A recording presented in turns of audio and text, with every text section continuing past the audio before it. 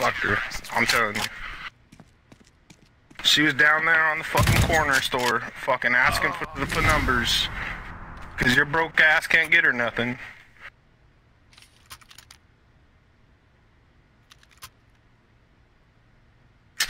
Listen, bitch.